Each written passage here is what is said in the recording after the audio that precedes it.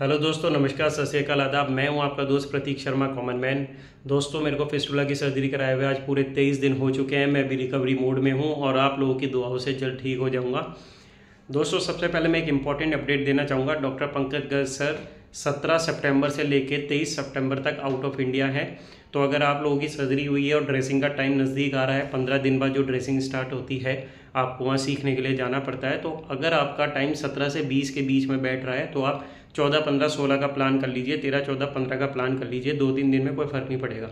और अगर आपका बीस तारीख से बाद में तारीख आ रही है पंद्रह दिन की तो आप चौबीस तारीख से आ जाइए, चौबीस पच्चीस छब्बीस का प्लान बना लीजिए। क्योंकि सर नहीं रहेंगे तो वहाँ पे कोई भी आपको नहीं मिलेगा। तो अगर आपको ड्रेसिंग करानी है तो इस अकॉर्डिंग आप अपना अपना शेड्यूल प्लान कर लीजिए, उस हिसाब से टिकट करवा लीजिएगा। अब दोस्तों बात करते हैं कल मेरे पास एक कमेंट आया था भाई का, उनने लेज़र ऑपरेशन करा लिया है तो वो कह रहे थे कि मेरे को थोड़ा डर लग रहा है रिकरेंस का। तो मैं यही कहना चाहूँगा, उनका नाम तरसेम सिंह है। वो मेरे छोटे भाई जैसे हैं, वो मेरे को बड़े भाई बुलाते हैं। तो तरसेम सिंह जी, सबसे पहले आप अपने दिमाग से ख्याल निकाल लीजिए रिकरेंस का। आपका काम था सर्जरी करवाना, आपने कर दी। डॉक्टर का काम था सर्जरी करना, उन्होंने कर दी। अब आप भगवान के हाथ में छोड़ दीजिए।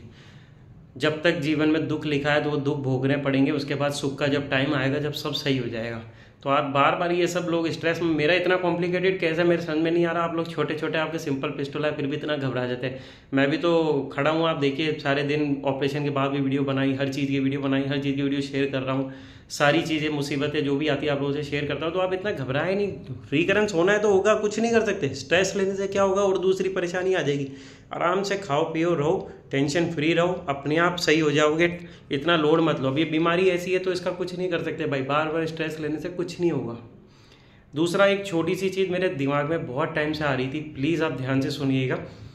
एक बहुत ही ज़रूरी चीज़ है जो मैं आप सबसे शेयर करना चाह रहा था। मैंने ये चीज़ बहुत नोटिस करी है। हमारा ऑपरेशन होता है, उस दिन तो ठीक है, हम बेड रेस्ट पे रहते हैं, चल फिर नहीं पाते। उसके बाद देखा है मैंने नेक्स्ट डे वॉक के लिए बोला जाता है कॉरिडोर के अंदर हॉस्पिटल के अंदर सब वॉक करते हैं। या जैसे कोई दूसरे रूम के अंदर हमें पेशेंट दिखता है तो हम क्या बात नहीं करते ऐसे इग्नोर टाइप करते हैं। कई लोग मतलब मोस्टली लोग बात नहीं करते, पता नहीं क्या घबराते हैं नर्वसनेस रहती है, क्या होता है। मेरा यही कहना है कि भाई, आप सामने वाले से बात करो। बात करने से आपको हल्का फील होगा।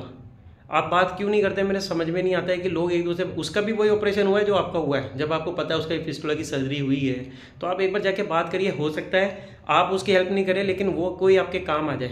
आप एक, आपस में अपना नंबर एक्सचेंज कर सकते हैं, आगे चल के आपको एक दूसरे की हेल्प मिल सकती है। तो मेरा यही कहना है कि आप एक दूसरे की प्लीज़ बात करा करिए, इससे आपको नॉलेज बढ़ेगी, बहुत हेल्प मिलेगी। अब मैं आपको मेरा किस्सा बताता हूँ। मेरी जब सर्जरी हुई सर्जरी होने के बाद मैं वॉक कर रहा था डिस्चार्ज होने वाला था। वॉक के टाइम पे मैं सबसे बात कर रहा था। उसके बाद डिस्चार्ज के टाइम पे मैंने देखा मैं कपड़े वपड़े पहन लिए चेंज कर लिए जाने वाले थे। लेकिन आ, मेरी मेडिसिन आ गई थी बस मैं निकलने वाला था। लेकिन मैंने देखा सामने का रूम खुला हुआ सामने एक पेशेंट थे जिनका नाम है रोहित जी जो पटियाला से हैं। तो वो लेटे हुए थे। तो मैंने मेरी वाइफ को बोला ये वही है जो कलवा क्लिनिक पे मिले थे और एमआरआई मेरे पास जिनकी एमआरआई हुई थी। तो मैंने वाइफ को कहा, मैं मिल के आता हूँ। वाइफ भी साथ में ही गई थी फिर। तो मैं जाके उनसे मिला, हालाँकि उनका ऑपरेशन हो चुका था। वो लेटे हुए थे तो मैंने उनसे बात करी। एक घंटे तक मैं वहाँ खड़ा रहा। एक घंटे मैंने खड़े रह के बात करी। मेरे को बैठने में थोड़ा सा ऐसा लग रहा था कि कोई दिक्कत नहीं हो इसलिए मैं खड़ा ही था कंफर्टेबली ऐसा कोई दिक्कत नहीं है तो मैं उनसे बातचीत कर रहा था। मेरे बात करने से उनको बहुत ही अच्छा फील हुआ, बहुत कंफर्टेबल फील हुआ। पहले वो थोड़े बहुत अनकंफर्टेबल हो रखे थे। तो आदमी जाता है, बात करता है तो समझाता है, ठीक है, कोई दिक्कत नहीं है, सब ठीक हो जाएगा। जैसे मुझे ठंड लगी तो मैंने उनको एडवाइस दी थी, हो सकता है ठंड लगे तो घबराना मत। और ऐसे ऐसे होगा ऐसे होगा, सब समझा दिया। जो एक्सपीरियंस है आप पर्सनल उससे शेयर कर दीजिए। तो सामने वाले को बहुत अच्छा फील होता है। तो प्लीज़ मेरा ये कहना है इस वीडियो के माध्यम से। अगर आप देख रहे हैं तो आपसे ये रिक्वेस्ट है, अगर आप हॉस्पिटल में हैं तो प्लीज़ जा करके बात करिए। सामने वाले पेशेंट को बहुत अच्छा लगेगा। और आप आपस में नंबर ले लीजिए, हो सकता है वो आपसे ज़्यादा हिम्मत वाला हो, वो आपको कोई चीज़ बता दे या कोई दवाई में आपको कोई प्रॉब्लम आ रही है, आपस में कुछ बाद में कोई प्रॉब्लम आ रही है तो एक दूसरे से बात कर सकते हैं। दुनिया में आए अकेले थे, जाना भी अकेला है तो दोस्तों, ये जो बीच का समय है, ये तो कम से कम बात करके साथ रह के गुजार लो। बाकी आए अकेले या अकेले जाना है, सबको पता है। बस मेरा यही कहना है दोस्तों, इस वीडियो में। अब मिलेंगे नेक्स्ट वीडियो में कल।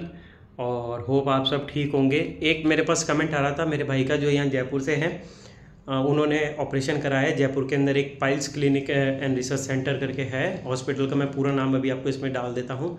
और वहाँ पे दो डॉक्टर हैं जो बहुत ही अच्छा वो भी फिस्टुला के ऊपर वर्क कर रहे हैं। फिस्टुला के पेशेंट काफ़ी सही कर रहे हैं। तो अगर आप राजस्थान से हैं तो जयपुर में रहते हैं। अगर आप बाहर नहीं जा पा रहे हैं तो वहाँ जाके आप एक बार दिखा सकते हैं। बहुत ही अच्छे वो डॉक्टर्स हैं और इलाज कर रहे हैं, जिनका नाम दिनेश शाह और अंशुल शाह है। तो जो भाई है, मैं उनका कमेंट भी डालता हूँ। ये देखिए, उनने मेरे को कल भी कमेंट करा था कि प्लीज़ आप उन डॉक्टर्स का बताएँ। तो इनसे इन्होंने इलाज कराया है। आप चाहे तो इनको कमेंट करके इनका नंबर लेके इनसे बात कर सकते हैं।